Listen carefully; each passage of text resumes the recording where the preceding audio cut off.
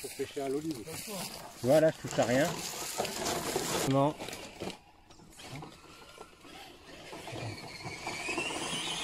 Yeah.